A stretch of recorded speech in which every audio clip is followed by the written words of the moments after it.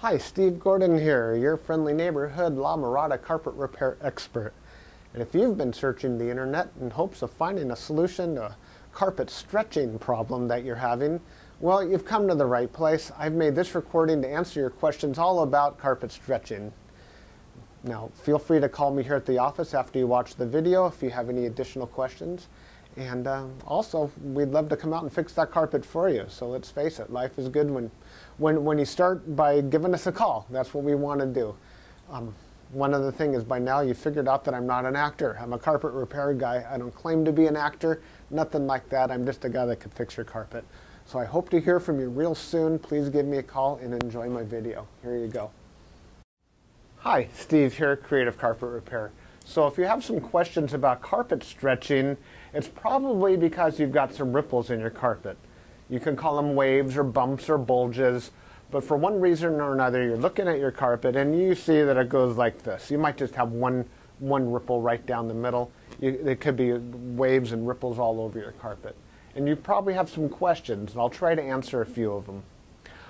One question people ask is, how did this happen? Why is my carpet doing this?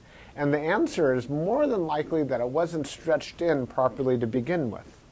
You see, what we use for carpet stretching is a power stretcher.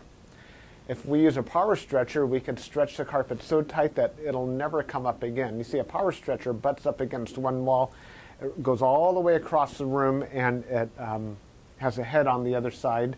And when we push down that lever, man, it stretches that carpet tight. So we give you a 100% unlimited, unconditional lifetime labor guarantee that that carpet will never need to be stretched again if you go ahead and hire us to restretch your carpet.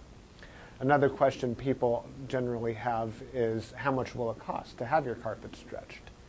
If that's you, you've come to the right place. What we normally do is wait for you to call and then we'll give you a general ballpark guesstimate over the phone.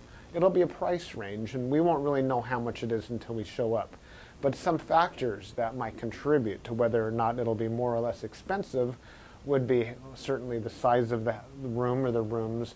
Do we need to take apart seams and put seams back together? Um, how much furniture there is to move? Do we need to move anything real, real heavy? Um, maybe there's a piano or a pool table or up or downstairs, that sort of thing. So give us a call here. We can come on out and give you that absolutely free, no obligation bid do the job right then and there and back it up forever. And then, like I said, life is good. So give us a call. Thank you very much. And um, by the way, thank you for watching my video. Bye-bye.